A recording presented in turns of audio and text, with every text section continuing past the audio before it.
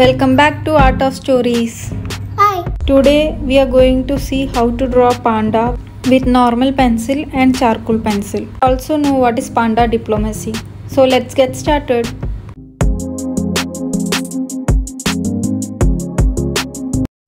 For all the viewers who wanted a tutorial video too, I have made a separate video of the same art piece in which I will be giving you all the details and will not be quick running the video to 16x.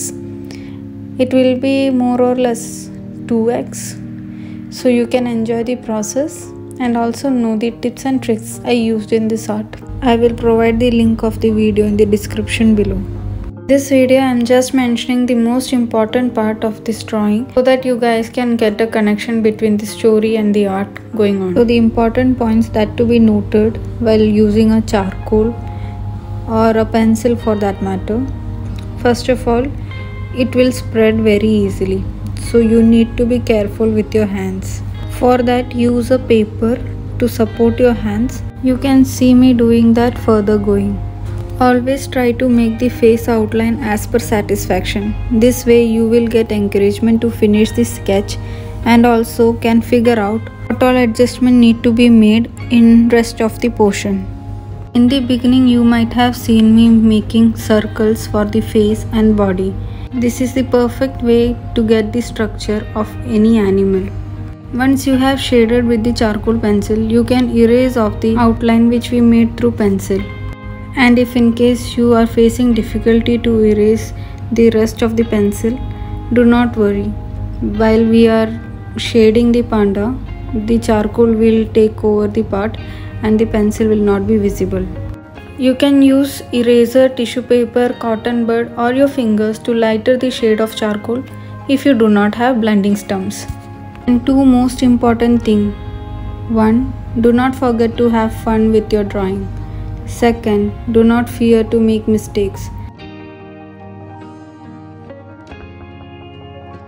Let's get into the story of panda diplomacy. Have you ever seen a real panda in your life? Chances are very less if you are not from these countries or ever been to these countries.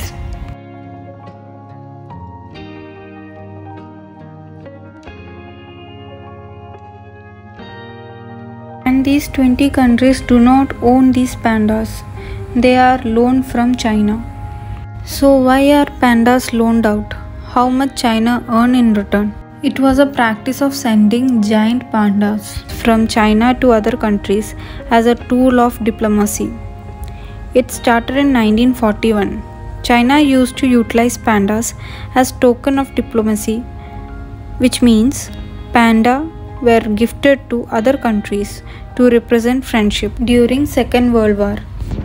When the first panda was sent to the US to tie the knot, it was sent to Washington DC and from there it was taken over by National Zoo.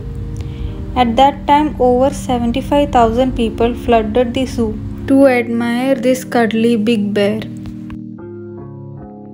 This process of gifting panda was carried forward by many other nations for quite a few years. In 1984, these policies of gifting modified such that the pandas would be loaned instead of gifts. At first, pandas were loaned for $5,000 a month. Then this practice also got modified again in 1991 in favor of long-term loans.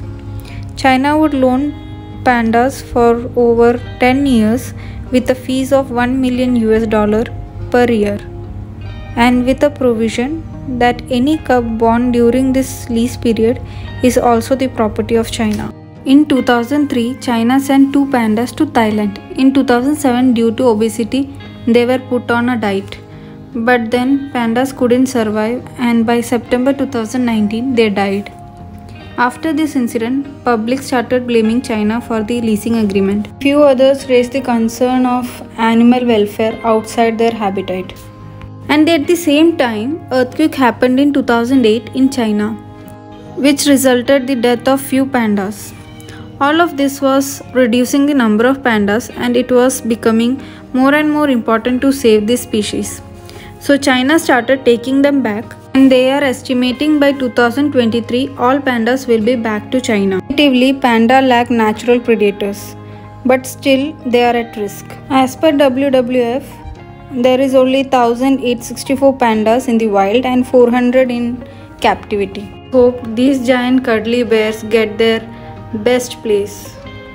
This is how the final sketch looked like. I hope you liked it and also the story. If you liked it, please like, share and subscribe. Thank you.